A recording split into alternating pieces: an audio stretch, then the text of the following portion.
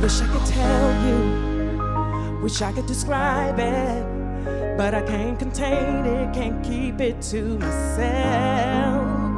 There aren't enough colors to paint the whole picture, not enough words to ever say what I found. He's wonderful and powerful and beautiful and glorious, holy, he is wonderful. Who we talking about?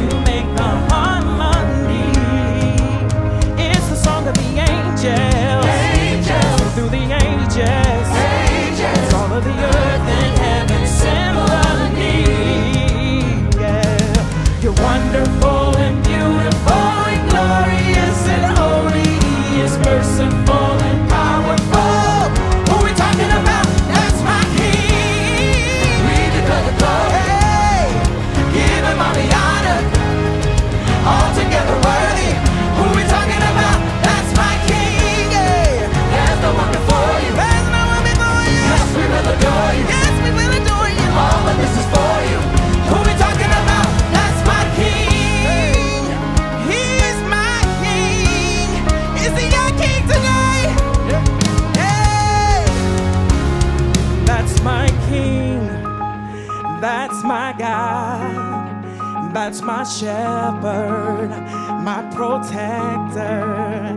That's my king, that's my rock, that's my anchor. My defender, that's my king. Shepherd, my protector.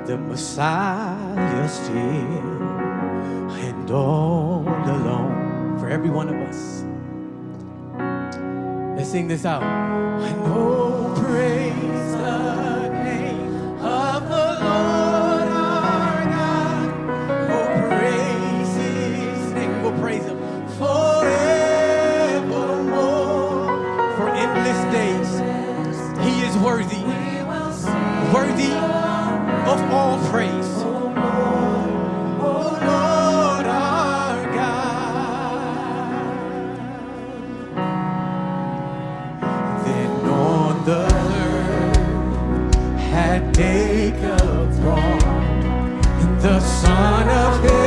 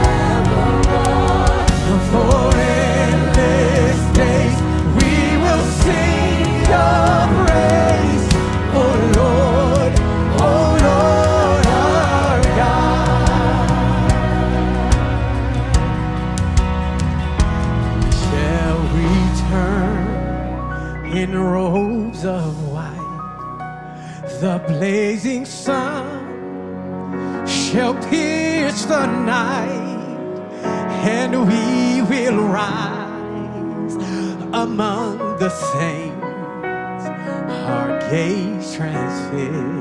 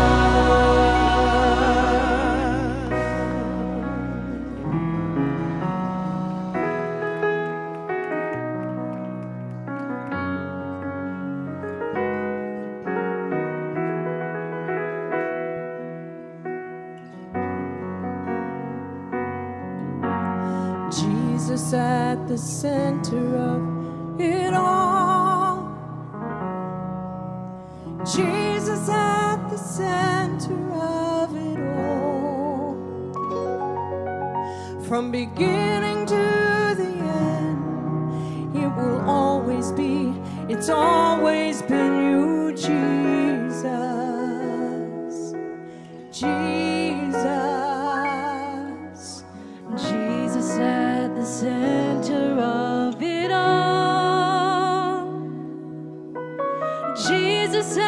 the center of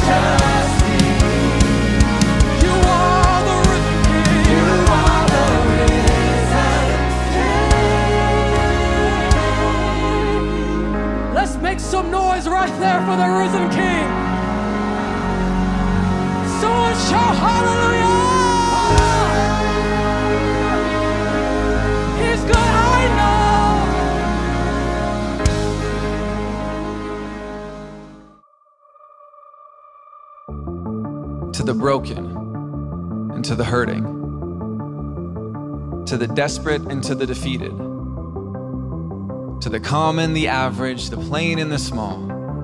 I want you to know you matter to God. To the washed up and the worn out, to the helpless and the hopeless, to the cast outs, the dropouts, the last picks and hypocrites, to the unimpressive and the underwhelming to the nobodies and has beens, to people just like me.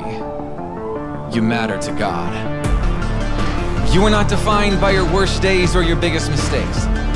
And you are not the sum total of all your setbacks, slip ups, failures, and faults. Because who you are is not determined by what you have, where you've been, or what you've done, but who Jesus declares you to be. You matter to God. Maybe at some point somebody told you something that simply wasn't true that you're nothing but unworthy, unwanted, and unloved. But I want the loudest voice in your ear to be the voice that breaks the cedars and shakes the wilderness, and He says, You matter to me. Before the galaxies were born, or the first star gave light, before the ocean waves crashed, or the night sky cracked with thunder, before any creature crawled or any bird sang, before the planets were set in motion, He set in motion the plan of your salvation. From the highest heights of heaven, the Lord of all creation looked upon your desperation. He became like one of us to remake all of us, to make an orphan his child, to make a rebel his friend, to set the prisoner free. You matter to God. So, to all the sons and daughters of God, to all my brothers and sisters in Christ, behold his power and glory and majesty. Behold the one who matters most. Well, hey, good morning, everybody. Of course, James Ward here. Good morning. Great morning, God morning to you. Friends, it's always an honor and a delight and a tremendous privilege welcoming you to Insight Church Online, or I could say Insight Church, Global Insight Church, wherever you are in the world. And I, I really do mean that. You know, this past Sunday uh, at our Tinley Park campus, I ran into an amazing family, a beautiful family and it seems the father uh, travels to South Africa quite a bit. And he told me, Pastor, I travel a lot and I am keeping up with everything that you're teaching through social media, through the online church. I am connected and I am informed and I am part of what God is doing.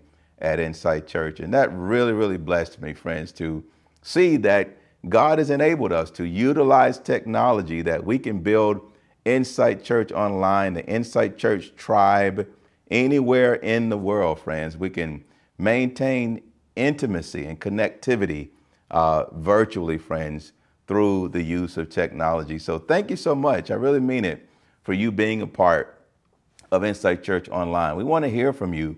Uh, get involved, get engaged with the chat. Send us an email and uh, let us know how you're doing. Uh, you matter to us. We're praying for you wherever you are, and we're grateful for the Insight Church tribe, friends. We like to say here at Insight Church, we are all in. We're committed 100% to the mission and the vision that God has given us here at Insight Church, friends, of uh, to make and train followers of Jesus Christ and build strong families uh, by understanding, embracing, and doing God's word and preparing people for the day of the Lord, friends. That's the time in which we live. And it's an exciting time. I feel that we are graced, we're energized. The Lord's hand is with us. And uh, I believe the best is yet to come for you and me and for our church and for all of God's people. Not just saying that, but Jesus uh, is revealed to us in Scripture as high priest, as our high priest of good things to come. That's certainly something for us to be excited and to be hopeful about. Welcome to church today. And please do, friends, make sure you subscribe to my YouTube channel. Uh, make sure you like and share today's service and every week, friends, with your friends, your uh, co workers, your family members. You'll be amazed at what God can do when the gospel is preached and people encounter the word of God. We believe that more and more lives will be changed and people will be turned from the power of Satan unto God. You know, I want to encourage you to really open your heart and to prepare to receive today's message, friends. It's so powerful. You're going to hear today uh, the message that I taught on Easter Sunday, uh, a message called uh, Love Conquered for Me to Reign in Life. Part of our Easter trilogy, I started on Palm Sunday teaching that uh, love came to my rescue. Good Friday, uh, I taught that love died for my redemption. And this particular message that you're going to hear today, friends, something happened in our services. This something happened in my own heart uh, to to understand what it means to walk in the grace of God and to reign in life through the grace of God. And uh, it's something that I believe this message in particular is going to be life changing to you. Every Sunday is Easter Sunday. Every day is Resurrection Day in the kingdom of God because we are actively walking in the life giving power of the Holy Spirit, the anointing of God, the power of God. And so I just want to encourage you, friends, to prepare your heart right now for the good seed of the Word of God. Before we get into the scriptures and the teaching today, this is our time to give. I said a few moments ago, we are all in. Giving here at Insight Church is never an obligation, it's always an opportunity just because we love the Lord. We love His Word. We love people. We love helping people. We love preaching the Word to see lives change, to see families change, friends. We give with a heart of gratitude, uh, but also a sense of duty, spiritual worship, our act of spiritual worship unto the Lord by bringing our tithe and our offering before the Lord to honor him, friends. Let's do that right now. The gospel needs to continue to go forth. You can invest in the vision and the mission of Insight Church by scanning the QR code you see there, texting to give, visiting our website at insightchurch.org. Again, you can give from anywhere in the world. Make sure you download our church app. You can give on your church app and stay connected with all the great things that are happening here in the church as well. Or, of course, you can mail your support to our office in Tinley Park at any time. We're so grateful for you. We love you, friends. Uh, we're amazed at what we can do together when each of us, uh, when we all do our part, as Ephesians 4 uh, tells us that every joint supplies, every part does its share. We believe that here at Insight Church. Well, get ready. Now is the time, as I always like to say, to declare your heart to be good soil for the seed of God's word, because it's the quality of the soil of your heart that determines the productivity of the seed of God's word. Take a look at this. Let's pray. Father in heaven, we thank you so much for your word. Oh, how we love your law. It is our meditation all the day. And you, through your commandments, you make us wiser than our enemies. We ask you for the spirit of wisdom and revelation in the knowledge of our Lord Jesus Christ. Thank you that the entrance of your word gives light and gives understanding to the simple. We ask that you will open the eyes of our understanding that we may comprehend your word, your purposes, and the times in which we live. Holy Spirit, we honor you. You are the Spirit of God, our helper, our teacher, our comforter, the one who is called alongside us in this life and gives us the advantage in life. You are the Spirit of truth, whom the world cannot see and does not know, but we see you and we know you because you are not only with us, but you're in us. And we ask you this morning that you would increasingly form within each one of us the character of our Lord Jesus Christ and that you would bring about the reality of his kingdom in our lives and through our lives to the world around us. In Jesus' name, everybody in Tinley and Skokie wholeheartedly said and agreed.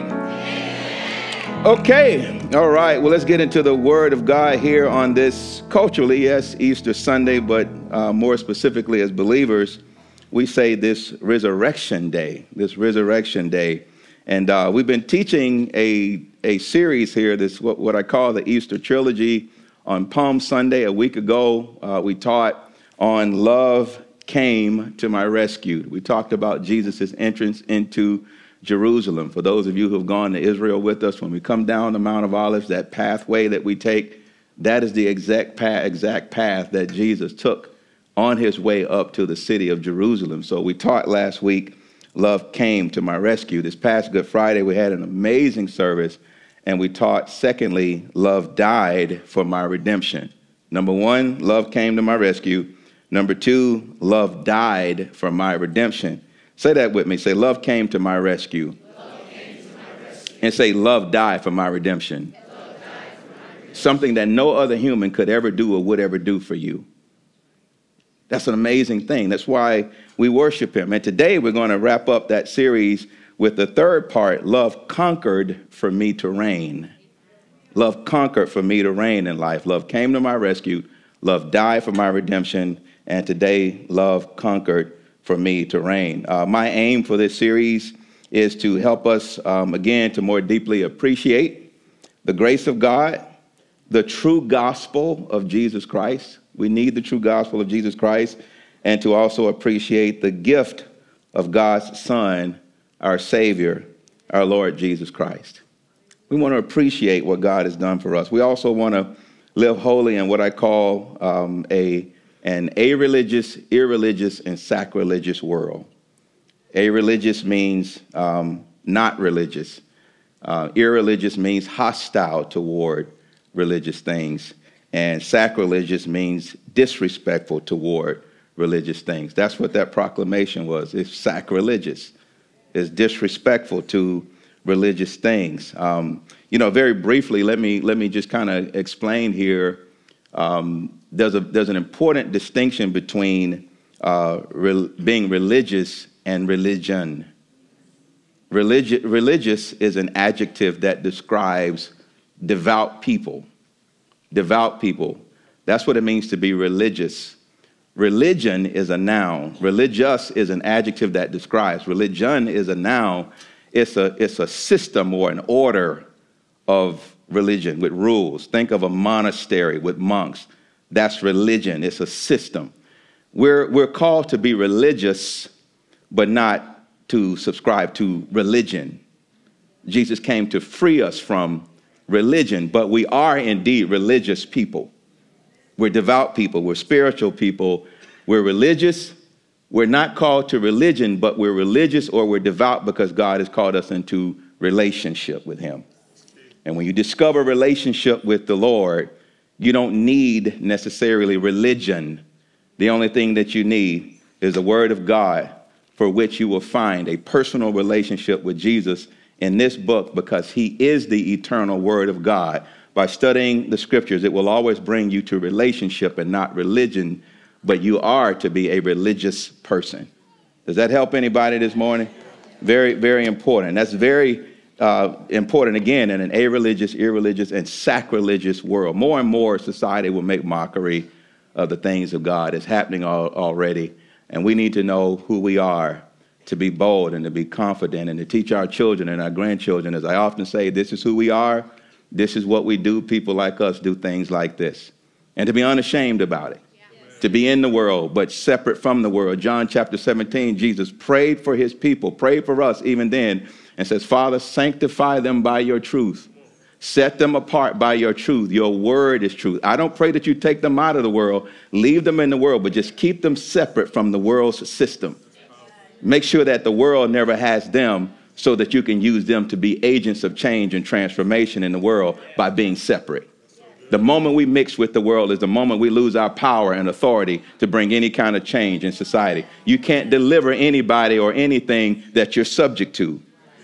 And so he always calls and, and is always beckoning for us to be set apart and holy to the things of God. Somebody say amen.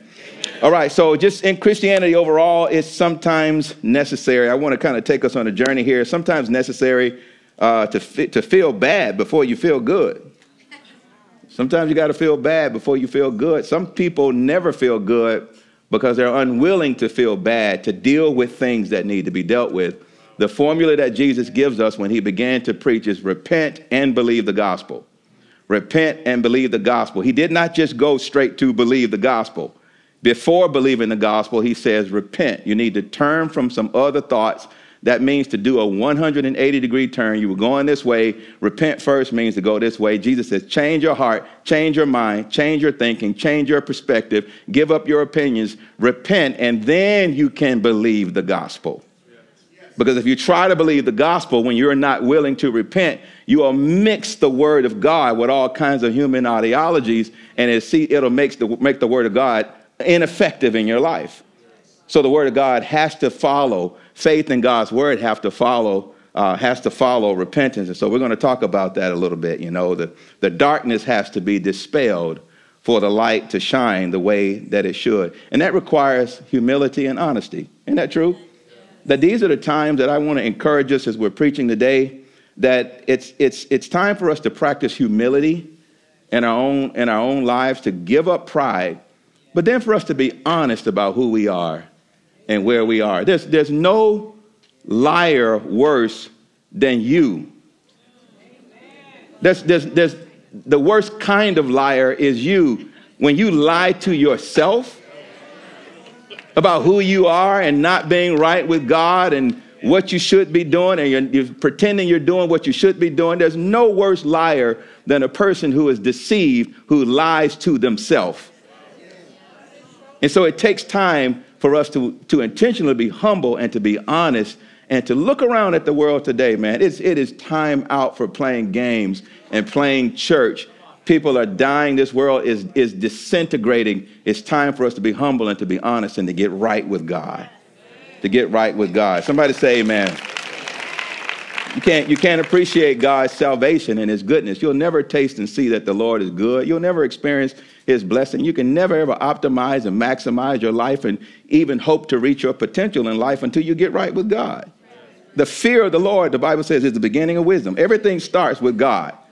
And so it's a time for us to see to it that our, our hearts are repentant as we enter into faith. Let's dig in here. Let's start with John chapter 10. I just want to read this. It says here, the thief, everybody say the thief.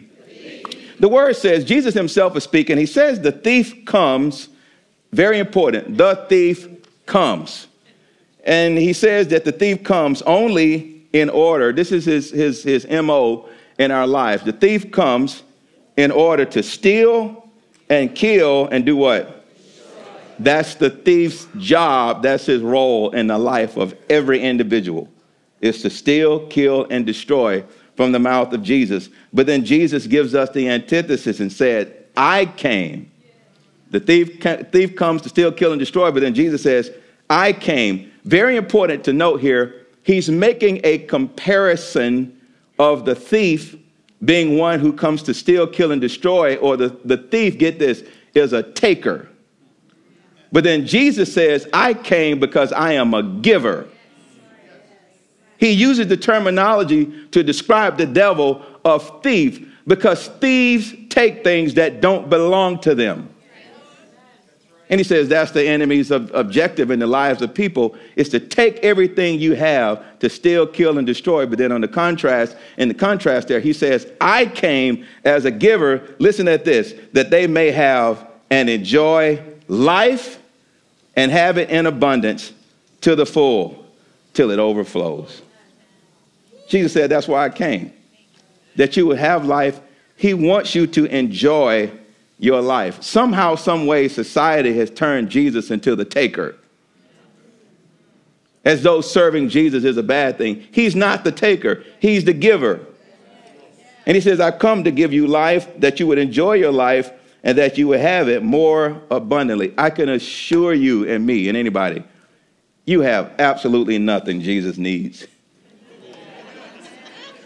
Why would he, why would he take anything from us? when the word in, in James chapter 1, verse 17 or what have you, tells us that every good and perfect gift comes from the Father above.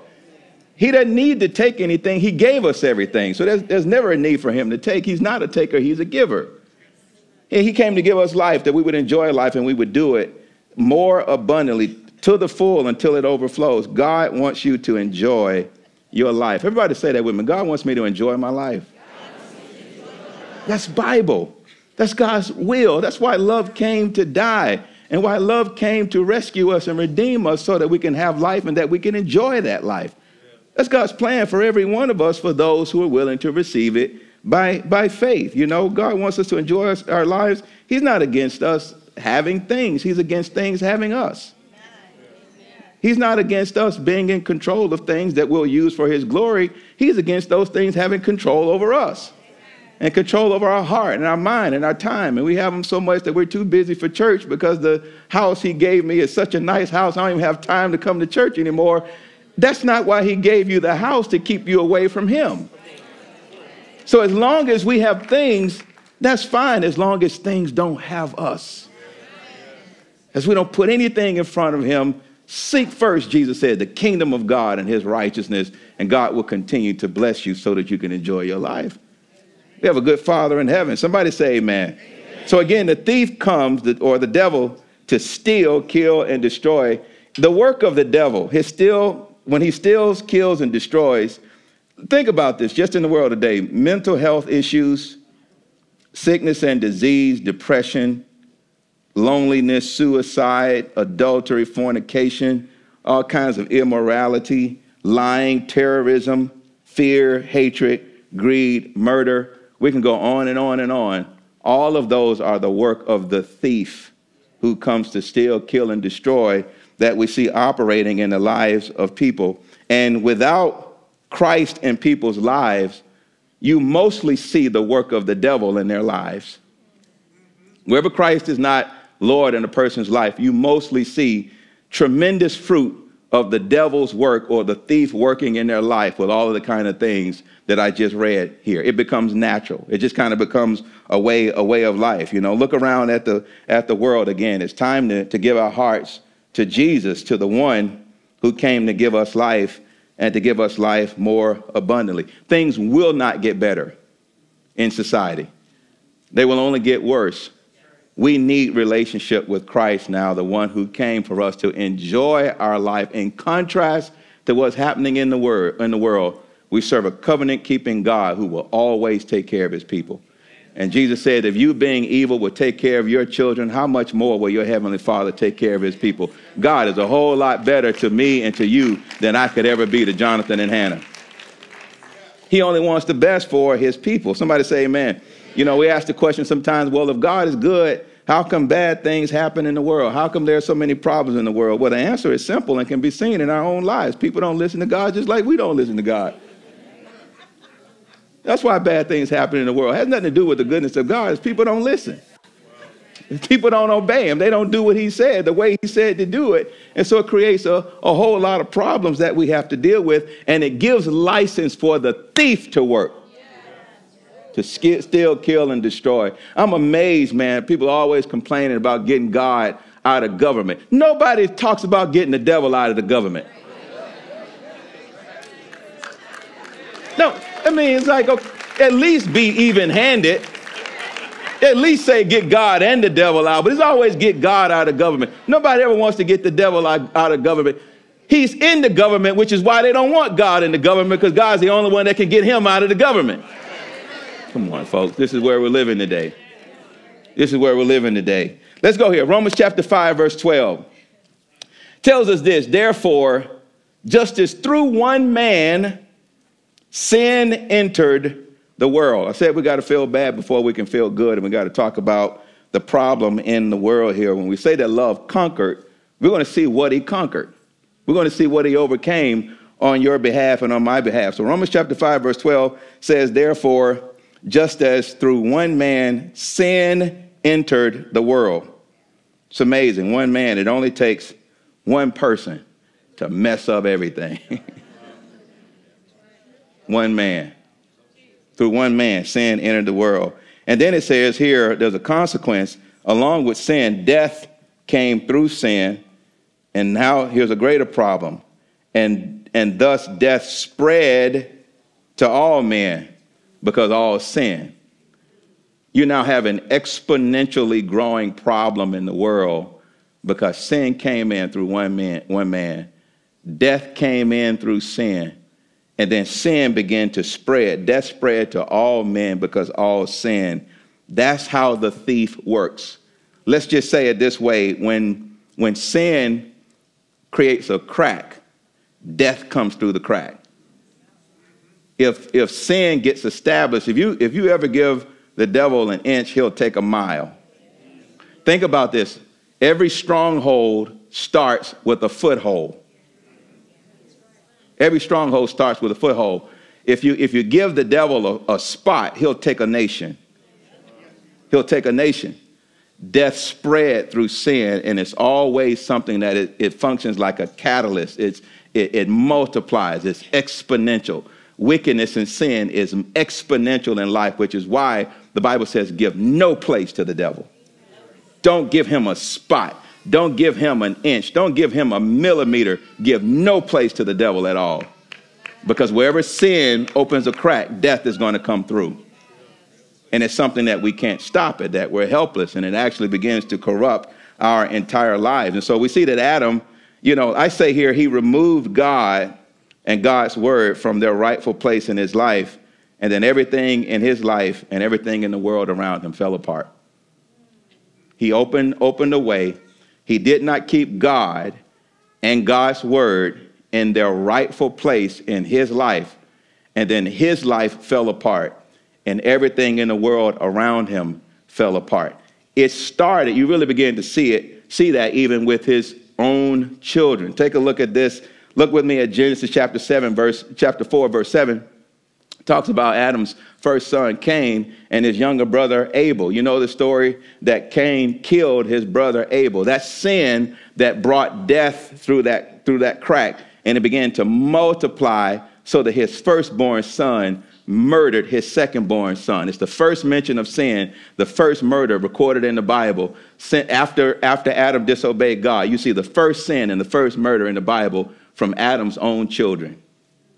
What a crisis. It says here in Genesis chapter 4, verse 7, God is speaking here to Cain, and he tells him, if you do well, if you obey God and serve God and, you know, be obedient to the truth of God's word, if you do well, he tells him, asks him the question, will you not be accepted? But listen, and if you do not do well, God tells him, sin lies at the door. And its desire, there's a personification now of sin. God tells them if you don't do well, if you disobey, if you disregard God's word, disregard God's word, God tells them, it, wasn't it even gracious for God to even tell him that? That's the mercy of God already at work to point out to him what the enemy was wanting to do. And God tells him in his mercy, he says, listen, sin is lying at your door and its desire is for you. It wants to devour you, but he tells them, You shall rule over it. Don't let it rule over you. You must rule over sin. It's at your door, it's lying there, and its desire for you. I'm going to come back to that. Take a look with me at 1 Peter chapter 5, verse 8 from the Amplified Bible. Peter writes about this. years and years later, he says, Be well, balanced, be temperate, sober of mind, be vigilant, and cautious at all times. For that enemy of yours, the thief, for that enemy of yours, the devil, roams about like a lion, roaring in fierce hunger. Remember, God tells Cain that, that its desire is for you, that sin has an appetite to devour you. It's lusting after you. It, it has a hunger and a desire to destroy your life. Peter picks up on the same thing by the same Holy Spirit years and years later and saying that the enemy, the devil, is like a lion who's roaring in fierce hunger with an, with an appetite to destroy people, seeking someone to seize upon and to devour. Makes it very plain. And the reason these two passages are connected when Peter talks about sin, uh, Satan being like a roaring lion, when you go back to Genesis chapter 4, verse 7, when God tells Cain, sin lies at your door, that word lies in a Hebrew, in a Hebrew, it's a word that literally means crouching on four legs like a predator. That's what that word in the Hebrew means. Sin lies at your door. Sin is crouching at your door like a four legged animal stalking its prey, waiting to pounce to devour you. That was the message. I like nature shows, but sometimes they're gruesome. sometimes they're gruesome, man. When you look and you see lions, hyenas, jackals, wild dogs are the worst. They're just, when you see them devour animals and eat some of them alive, it's brutal. And that's the picture that God gives us about sin crouching at your door, looking to devour you, to eat you and your family alive, to steal, kill, and destroy.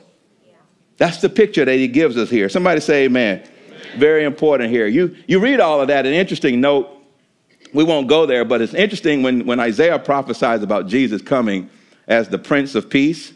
Isaiah prophesies this. You remember I just tell you about animals eating each other and how they just I mean, it's gory. They eat each other alive. But Jesus, Jesus, Isaiah prophesies that when the Messiah comes and he sets up his reign, he tells us this.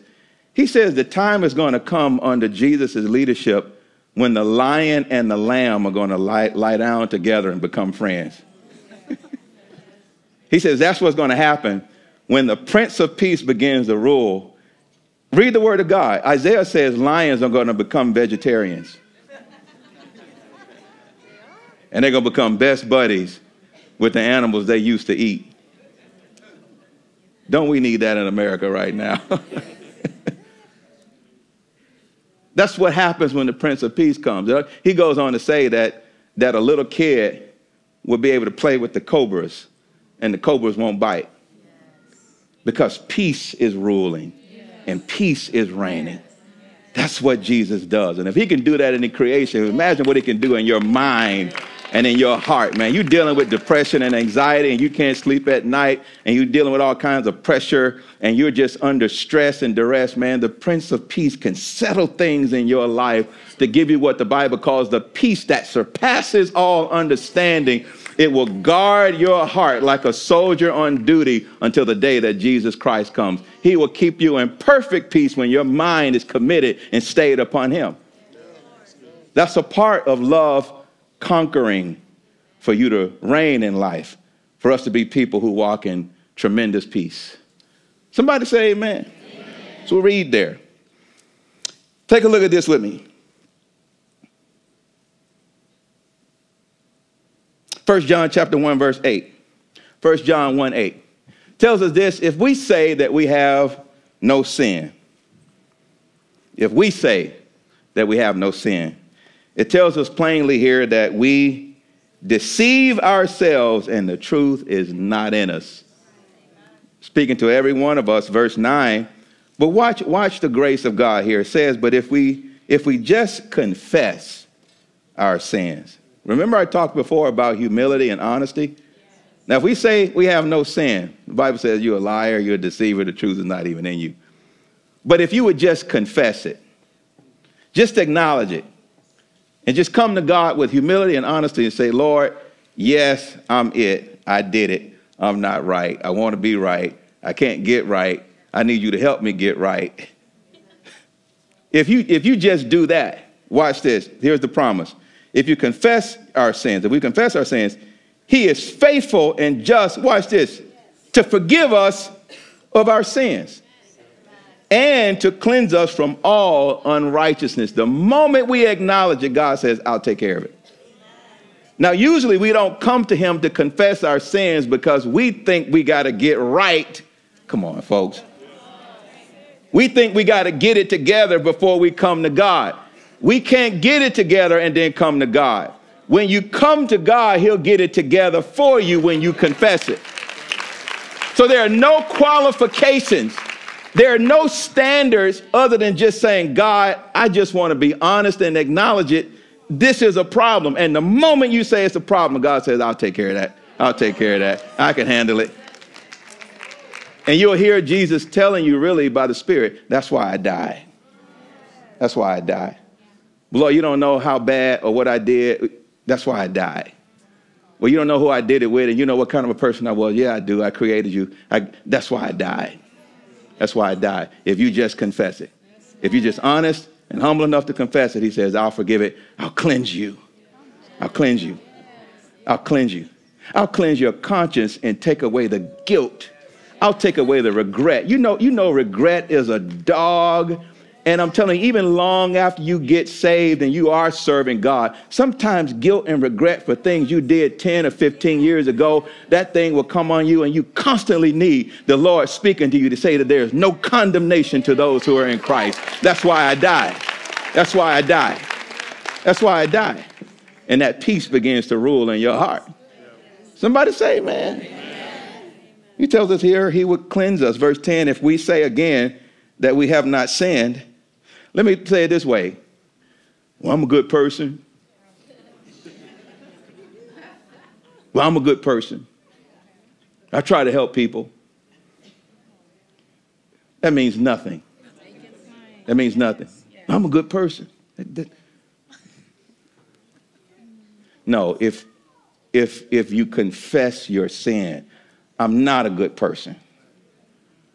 I want to be a good person. And Jesus can make me the good person. That's confessing your sin. That's confessing your sin. But it says that, that if we say that we have not sinned, we make God a liar and his word is not in us. Friends, it is so easy. It's a complex process on God's behalf, but it is so easy to get right with God. All you got to do is be honest and humble yourself and confess it. And God says, I will take care of it. I will take care of you. I don't care if you've been divorced 16 times. I don't care if you got, let me get real. I don't care if you got 13 children by eight different women. I don't care if you were in prison. I don't care if you have a record. I don't care if you have a felony. I don't care if you've had an abortion. I don't care if you were an alcoholic. I don't care if you stole something. I don't care what you did. The blood of Jesus and his sacrifice is sufficient for you, and he will cleanse you from it. He will cleanse you from it.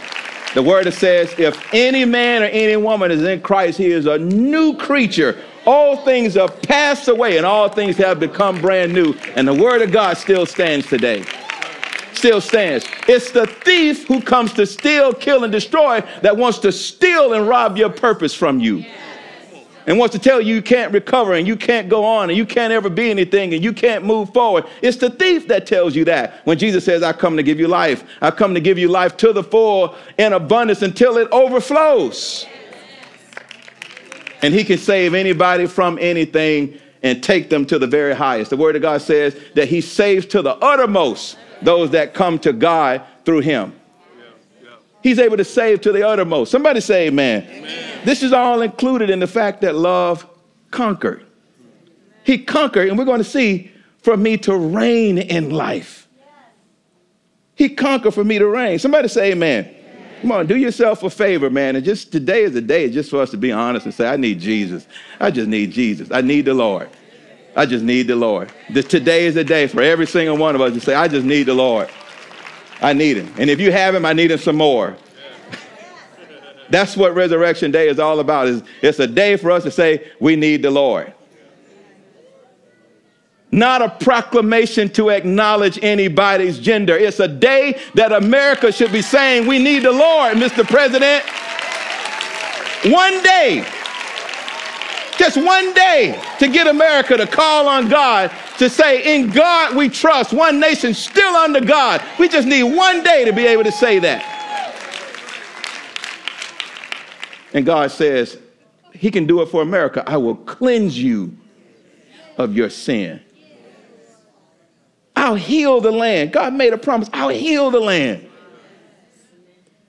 If we're just humble enough and honest enough to come before the Lord. Somebody say amen. And God help us. 1 Corinthians 15 56. Let's keep going here.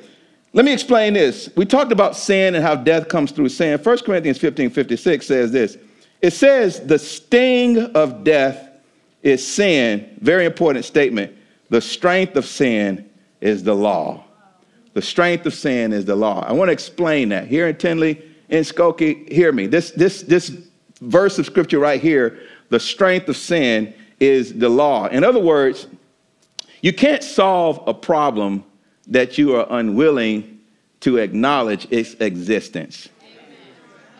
You got it. You first got to acknowledge the thing if you're ever going to get free from it, if you're ever going to have victory, you have to acknowledge it. And so when the word says that the strength of sin is the law, the law, which is the word of God, what it does, it takes, let me explain it this way something that is disastrous.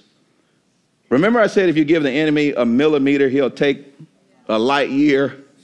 So, in other words, if it, if it shows up if it's small enough, you will overlook it. So let's just say you might be able to see it under a magnifying glass or, or under a microscope is that small that some things are not visible to the, to the naked eye. Well, the Word of God, when it says that the strength of sin is the law, the Word of God works like a magnifying glass to put it on that thing so that it looks bigger for you to say, Whoa, I didn't see that before from God's perspective.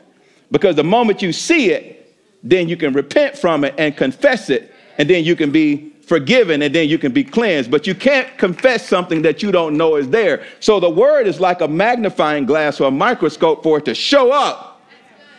And once it shows up, then God can deal with it. And when God deals with it, you can get rid of it. And when you get rid of it, then you can reign and begin to walk out your purpose and live for God. And so the Bible, the law, it strengthens sin until it gets big enough that it can be dealt with. I'll, I'll give you a, a, short analogy. It's, is why the state posts speed limits signs all over. They put up speed limit signs, 65 miles an hour, 30, whatever. You know why, you know why they put them signs up? They're anticipating you standing in front of the judge. They're, they're anticipating when you stand before the judge, they're going to be able to say, you broke the law because we put the law up that told you you were only supposed to be doing 45. And when you stand in front of the judge, the speed limit sign is going to testify against you that you're guilty. And that's the word of God is there to help us understand we've broken the law. There's something wrong that needs to be fixed. The strength of sin is the law. It helps us acknowledge there's a problem but there's not a problem because if we just confess it. Now, if we say we don't have it, you're a liar, you're a deceiver, the truth is not in you. But if you just say, Whoa, the sin has been magnified, I see it, God, I confess it, it, is there, God says, I'll take care of it. I'll forgive you and I'll cleanse you of all unrighteousness. Somebody say amen. amen. That's the beauty of the word of God is it shows you the imperfections. It shows you the infractions so that you can be washed and be clean and you can grow and be perfected and become better and you grow in the image and the likeness. You become more and more like God. As Peter says, you become partakers of his divine promises. You become partakers of his divine nature through these exceedingly great and precious promises. You become partakers of his divine nature that God begins to make you more and more and more and more like him. Hallelujah. But it only comes through his word that strengthens sin so that we can confess those things and be changed. Somebody say amen. amen. What a tremendous blessing. Look at this principle here. The law, or God's holy word, which is the Bible, was given to us to reveal sin, to strengthen our awareness of sin in our own lives and to consciously build within us a desperate need for its removal. A desperate need for its removal. You've heard me say before the only devil that you can't cast out is a tolerated devil. The only thing you can't get victory over is something you tolerate. If you coddle it, you tolerate it, you won't acknowledge it, and you feed it, you can't get rid of that. The only kind of devil you can't get rid of is something that you tolerate. But the word of God here is to show us the, a desperate need for its removal, to say that thing needs to go. That has to change in me so that I can grow in the likeness of God. Somebody say amen. amen. To help us say, I need to get rid of it and I need a Savior. I need some help. Let's look at that from the word. Romans chapter 7, verse 23. Romans 7 23 from the New Living Translation. Paul writes this. I love this passage. He says, But there is another power within me. Isn't that interesting? Now, this is him, not Saul. He's already Paul. He'd already met Jesus on the Damascus Road. He'd already been filled with the Holy Spirit and was already one of the greatest New Testament apostles that the world has ever seen. And even after giving his life to Jesus, Paul is still having this conversation. He said, There is, he didn't say there was, he said, There is another power within me. That's true for every one of us in here.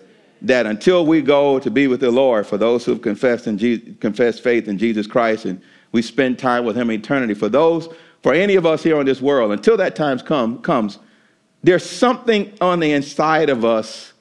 Let's just call it the seed of sin, and it's working.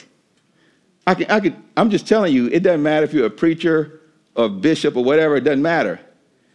Sometimes some weird stuff come out of nowhere, and I'm like, where did that come from? How did, I, how, did I, how did that get in my mind? Am I the only one? Can anybody raise a hand tell the truth? Like some, some, sometimes just some weird stuff comes into your mind. We won't, we won't get to it. The Bible, the Bible says that when, when Satan had entered Judas, and Jesus, Jesus tells Peter, when he tells him, Get thee behind me, Satan, he says, You are not mindful of the things of God. Satan, Satan will put things in people's minds. He can suggest certain things. And Paul, Paul makes this statement. He says, There's another power. Everybody say power. Power, power means now you need a greater power to deal with it. He says, There's another power within me very important. That is at war with my mind. Whatever this thing is, that thing is like it's like World War three, four, five, six, seven, all the time. It's warring with my mind. The power, this power, it makes me a slave to the sin that is still within me. He was already an apostle, already planting churches, already writing letters. But he says that there's something, as long as I'm on this earth, he says, there's still something in me, this power that's at war with my mind. He was already a Christian. Verse 24. Listen, listen at him being humble and being honest. Watch this. Verse 24. Paul says, Oh, what a miserable person I am. Now, he wasn't being self defeatist, he was being honest about that thing. Some translation says, Oh, wretched man that I am. You know, we sing the song that saved a wretch like me. He's, oh, wretched man that I am. He says, I'm a miserable man. But listen to this. Here's the good part. He says, Who will free me from this life that is dominated by sin and death? It's in me, it's working. I can't get free. It's still there. Verse 25. Thank God. He tells us here the answer is in Jesus Christ our Lord. He says, That's how I deal with that thing on the inside of me. He says, The answer is in Jesus Christ our Lord. So you see how it is. In my mind, I really want to obey God's law, but because of my sinful nature, he says here, I am a slave to sin. He said, The answer is Jesus Christ my Lord. That's how I conquer. That's how I live in victory over this thing that's in me and certainly is around me. He says, That's how I do it. I need a Savior. I, I need a Savior. Before I've given my life to Jesus and after I've given my life to Jesus, I need a Savior. Every minute of the day, every moment of the day, I can't go a second without Jesus and His presence in my life, or any of us, we're capable of some crazy stuff. We need Jesus all the time. Somebody say amen. amen. He continues in 1 Corinthians 15 57. He says, But thanks be to God again. He said, Thanks God thank God before. Here he says, thanks be to God. You know, if you're relatively new to church, you might be saying, man, why, why do you come to church and for 40 something minutes here in Skokie, we, they're standing up, they're singing all these songs, they're lifting their hands. Some people are jumping up and down, some people are clapping, some people are weeping. Why are they standing up for 30, 40 minutes singing these songs talking to God, talking to Jesus. I'll tell you why. We're saying thanks be to God. That's all we're doing. The Bible says, enter his gates with thanksgiving in your heart. Before for you to even approach God, the Bible says you have to have an attitude of gratitude that you're just, Lord, I'm thankful. I'm thankful.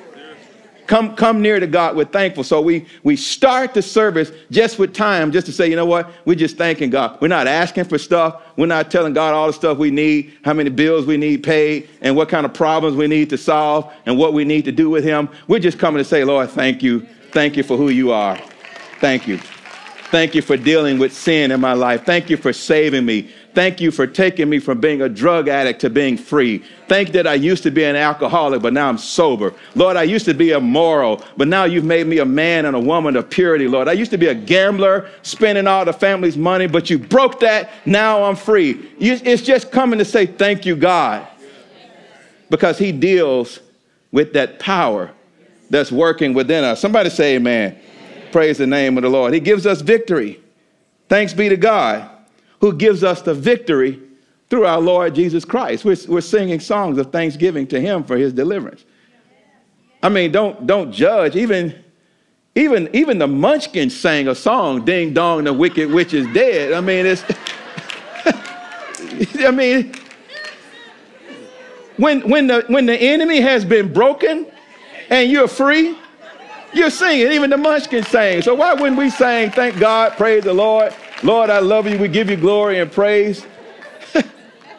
because that's what thankful and free people do. Somebody say amen. Putting God back in his rightful place in our lives, God and his word. You know, I said before that, you know, everything fell apart in Adam's life when God and his word was no longer in their rightful place. Very quickly, Jeremiah chapter 12 tells us that even, even creation in the world is suffering because of sin in the lives of people. Jeremiah chapter 12, verse 4 says, How long will the land mourn and the herbs of every field wither? The beasts and the birds are consumed. Here's the reason for the wickedness of those who dwell there, because they said, He will not see our final end. It's the wickedness of the people that was causing the land and all of creation to suffer. The people in their disobedience. Isaiah chapter 24, verse 6 says, says the same thing. It says, The earth mourns and fades away. The world languishes. The world is suffering and fades away. The hardy people, the prideful people of the earth languish. Verse 5 The earth is also defiled under its inhabitants, again, because they have transgressed the laws of God's word, changed the ordinance, changed his instructions, and broken the everlasting covenant with God. Therefore, verse 6, big deal. The curse has devoured the earth, and those who dwell in it are desolate.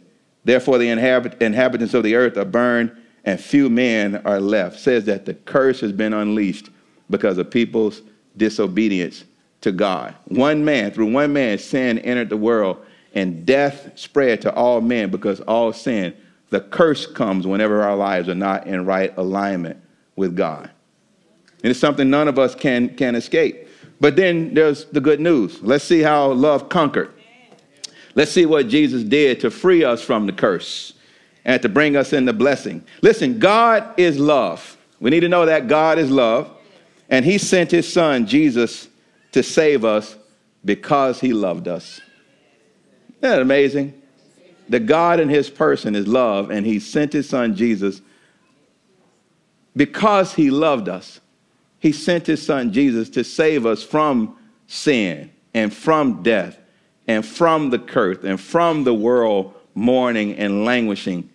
Because God is love, he loved us and sent his son out of that love to save us. To save us. Remember, Jesus tells us it's the thief that comes to make you miserable, to steal, kill, and destroy. But I came to give you life so that you can enjoy to the full until it overflows. Never let the enemy or society suggest to you that Jesus comes to make your life miserable. He does not. In Matthew 11, 28, he says, Come unto me, all who labor and are heavy laden, and I will give you rest. That term rest in the Greek means I will give you a vacation in your spirit. I will put you on vacation in your soul. I will give you rest. I will give you rest. He's the giver so that we can enjoy life. And so because God is love, he sent his son, Jesus, because he loved us. First John chapter 4, verse 8 tells us here, he who does not love does not know God. For God is what? God is what? Say that with me. God is love. God is love. He is. That's, in, that's the only hope we have of anything pure in the world anymore is to know that God is love. That's all we have, folks. Is to know that God is love. It comes, it comes again here in 1 John 4 16. And we have known, very important, we have known and believed the love that God has for us. So it's not just enough for God to be love, we have to know it and we have to believe that He is love. And we have to believe the love that He has for us. Or you could say, you must know and believe the love that God has for you. Everybody just say, God loves me. It's one of the greatest truths you could ever speak, whether you feel like it or not, whether your parents were there or not, whether you've been abandoned, rejected, abused, ostracized, discriminated against. The greatest truth that you can uh, even entertain and possibly contemplate about yourself is that God loves me. He loves you. That's why he sent his son. That's why he sent his son, because he loves you. But we must know and believe the love that God has for me. I can tell you, and maybe we'll come back to this at a later time.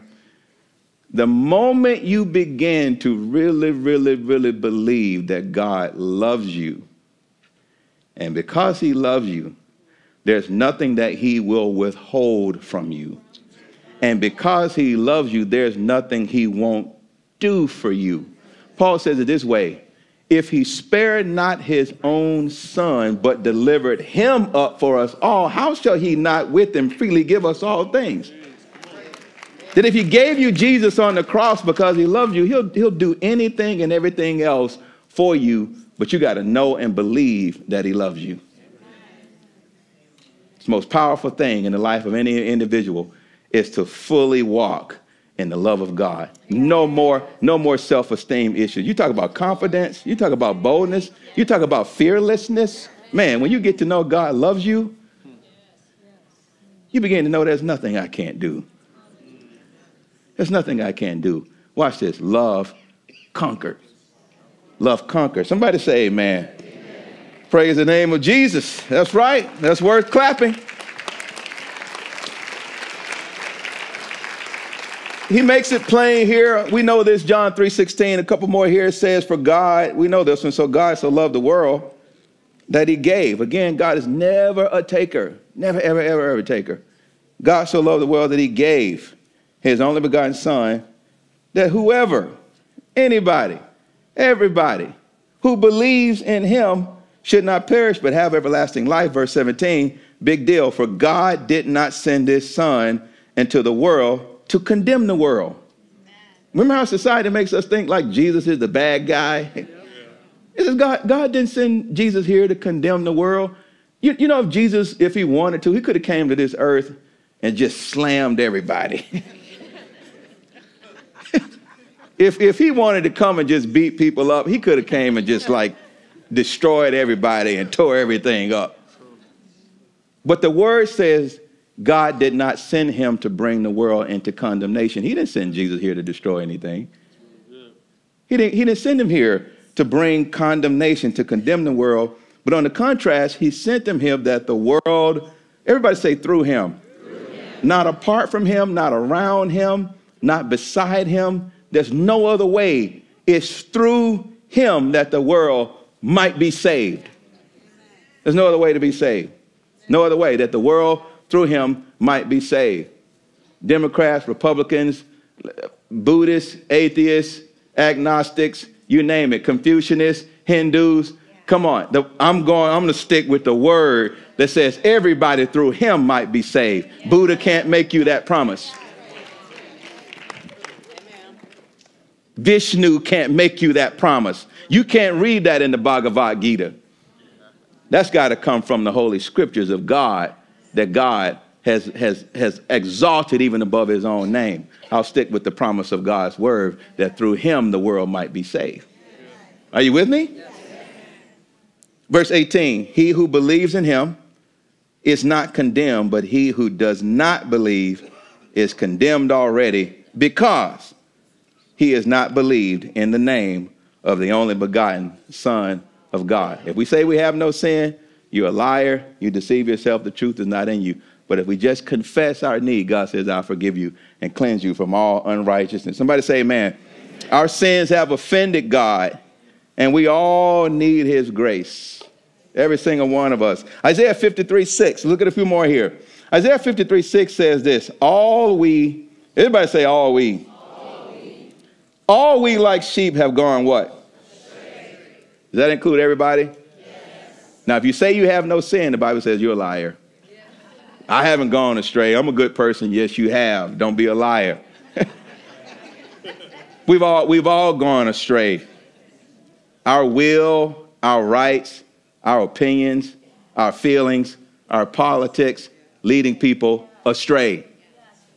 We've all gone astray.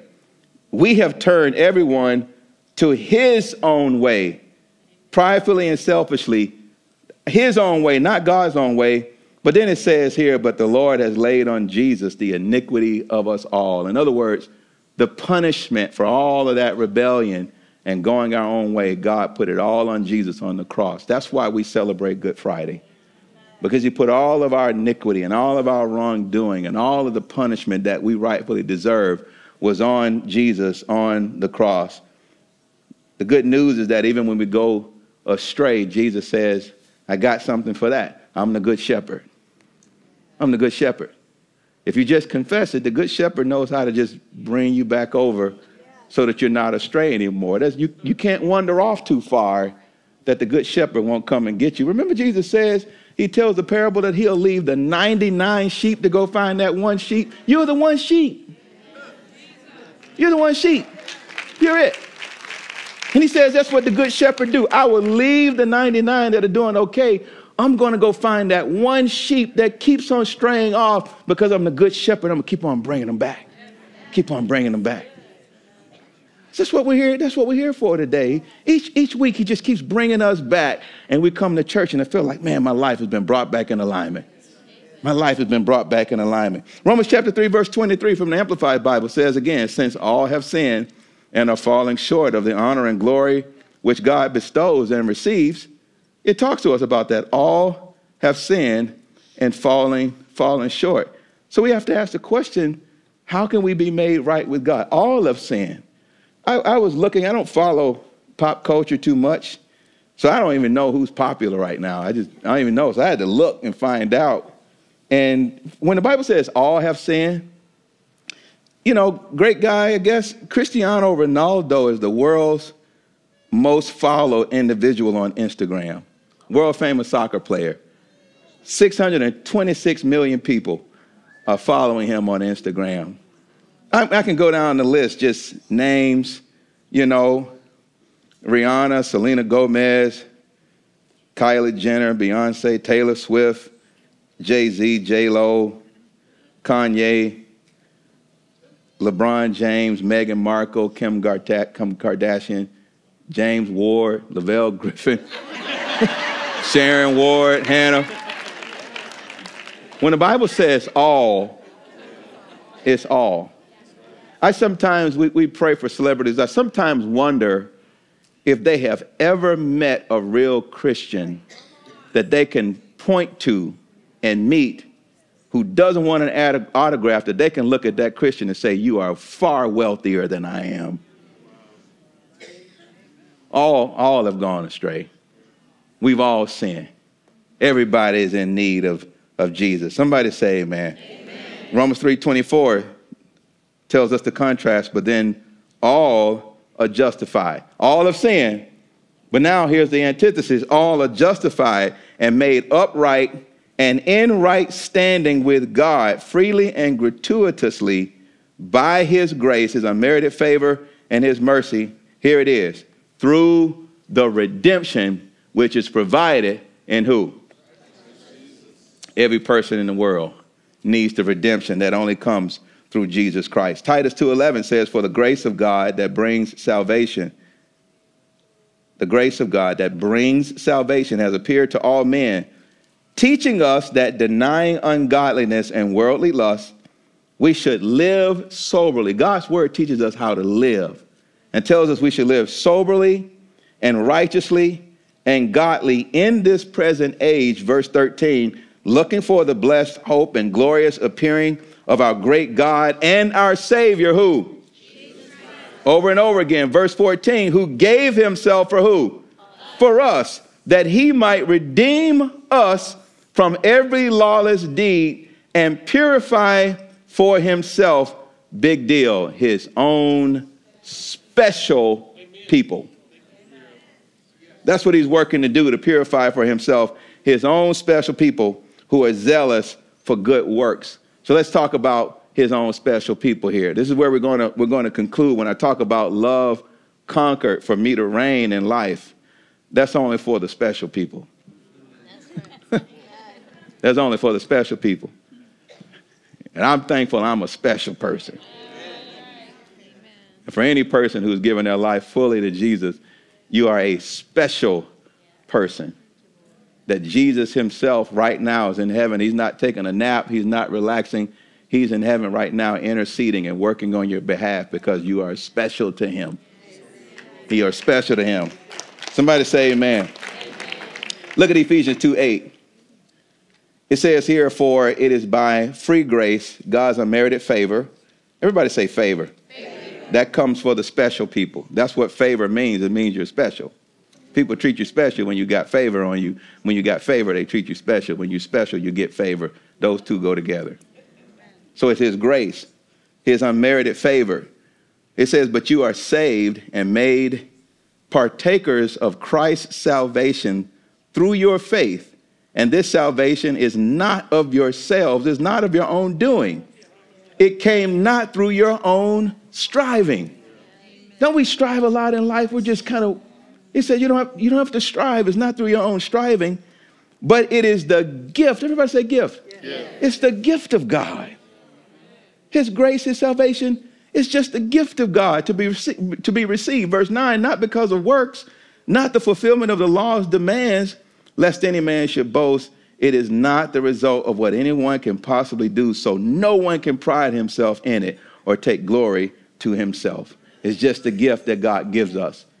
He gives us the gift of his grace. And if that was not enough, James 4 6 tells us this, but he gives us more and more grace, more and more favor, more and more of God's grace. That's what happens when you become special to him so that you can enjoy life to the full until it overflows because you're special, you're special and God's favor is coming to you more and more and more and more and more and more and more and more. Every day you wake up, a fresh batch of God's grace is coming your way. That's what He does for His special people. Somebody say, Amen. But it's something that we have to invite Him in our hearts to do. The grace of God, it transforms what I call criminals against God who reign into children of God who reign as kings and queens on earth. We're going to end here. The grace of God transforms criminals against God. Remember all that law, that sin, all have sinned, all gone astray? That's crime against God. But the grace of God transforms criminals against God into children of God. And they reign as kings and queens on earth. Take a look at Romans 5 17. For if because of one man's trespass, we talked about that, lapse in his offense, death reigned through that one, much more surely will those who receive God's overflowing grace, his unmerited favor again, and the free gift again of righteousness, putting them into right standing with God himself, says that those people will reign as kings in life through the one man who? The Messiah and the anointed one. They will reign in life through one man who is the Messiah, Jesus Christ. You ever get tired of life beating you up and life ruling over you, the thief stealing, killing, and destroying you, being dominated? Says that through the one man, Jesus Christ, and by the grace of God, he will cause you to reign in life. Revelation 1 6, it says that Jesus formed us into a kingdom, get this, a royal race. A royal race, special people. See, I, I don't want to stir up no mess, but listen, that's why all the, the black, white racism stuff don't affect me. I'm a royal race. That stuff is all beneath me, man. You, you, you get to a point, you pass that. You pass that. We're a royal race. Somebody say amen. amen. We're a royal race. 2 Timothy 4 8 tells us here there is laid up for us, there is laid up for me, Paul says, the victor's crown of righteousness. Why? For being right with God and for doing right, which the Lord, the righteous judge, will, re- will award to me. We're kings and priests, God's own special people. Says here, God has laid up for me a crown of righteousness. So I just, I just, you know, as a visual, brought my, my crown you know. And um, when I talk about love conquered for me to reign in life, that crown of righteousness, he's made me to be a king and a priest. The word of God tells us right here that we will reign in life through Jesus Christ. When you come to faith in him, if you could see it, what Jesus does is reaches out and he placed one of these guys on your head. Just, just like that and you begin to live in life, reigning in life, this is how, how heaven sees you. This is how heaven sees you. Now, in this world, to a lot of people, it looks silly for me to have this on my head. But I'm telling you, in heaven, you look silly without one.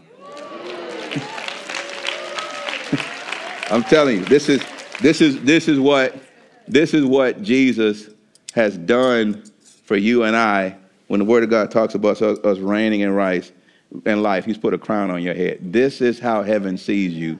And when He came out of the grave, He brought all of us out of the grave with Him, and we're all wearing crowns to reign in life.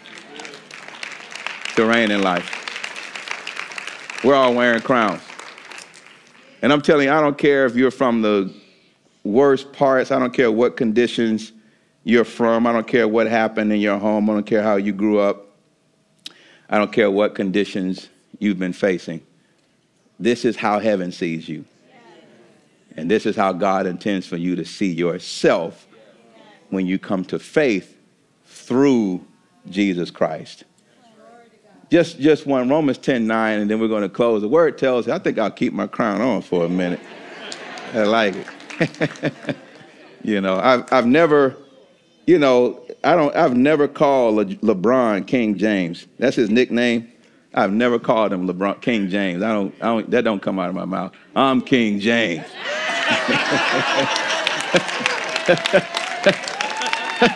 and you King JT and Queen JC, right? Come on. We're all queens and kings around here. We're his special people. This is what happened when love conquered. Romans 10 9 simply tells us again, take a look at this, that if you confess, we read that, if you confess with your mouth the Lord Jesus and believe in your heart that God has raised him from the dead, you will be saved. You'll get a crown. Amen. You'll get a crown. That's what it means to be saved. If you confess him. But look at that last verse of scripture. Jesus says this in, in the book of Luke. He says, But whoever is ashamed of me, that's, what, that's what's happening in the world today, that so much persecution and rejection and resistance is coming toward those who are Christ followers. And Jesus says, But if you're ashamed of me and my words, it's the Bible, he says of that same person, the Son of Man, who is Jesus, would be ashamed when he comes in his own glory and in his Father's glory and in the presence of the holy angels. Jesus says, If you don't stand up for me, he says, I'll be ashamed of you. We don't want that. But I'm telling you, when you are bold and committed to him, he is committed to you and you will reign in life through faith in Jesus Christ. I just want, today is a day of, of reset, whether you know the Lord or don't know the Lord, if you've never become a Christian or if you are a Christian, today is a day simply for every single one of us to say, I need Jesus. I need Jesus. Well, friends, if you open your heart, friend, to receive the revelation that uh, has been given through the Word of God today by the Spirit of God, there's no way that you can stay the same. There's no way that your marriage and your family can stay the same. What we've heard in the Word of God today, friends, I want to encourage you to not only embrace it, but if you are a parent or a grandparent, I want to encourage you to teach the Word of God to your children and your grandchildren. Have them sit down to listen to this teaching, talk about it with, with them, discuss it with them. You know, the book of Deuteronomy tells us to do that, to sit with our children and to uh, talk often about the things of God around our dinner table. And uh, this is a time, friends, that we must see to it that we are helping not only our children, but even ourselves and every member of our family to know exactly who we are in Christ. I believe that identity crisis in this time of ideological warfare, friends, all the movements, all of the cultural uh, challenges that we see today, the myriad of voices, most of which are demonic voices, uh, communicating things that are not true, communicating things that do not align with our values based upon the Word of God. We have to see to it that we are uh, developing our identity, friends, that we know who we are and whose we are based upon what the Word of God has to say about us, friends. And as you saw in today's teaching, you are a king, you are a queen. God has made us to be a royal race and part of his royal family, his own special people. And may God help us to never compromise, friends, who we are and to never abdicate the inheritance that we have through faith in our Lord Jesus Christ. Once again, 1 Corinthians 15 57 says, Now thanks be to God who gives us the victory through our Lord Jesus Christ. Be encouraged. As always, if you missed the opportunity earlier to give, friends, don't ever miss the opportunity. Uh, anytime we can put seed in the ground to sow, we're just guaranteeing that there's a future harvest coming our way. So don't miss the opportunity to invest, to plant seed, friends. Scan the QR code there, text to give, visit our website, use your church app, mail your support however you desire to get your seed in the ground uh, knowing that God will multiply the seed sown. Well, that's it for today. I want to speak the blessing of God over you and your family, friends, by simply saying the priestly blessing, the Lord bless you and keep you. The Lord make his face shine upon you and be gracious unto you.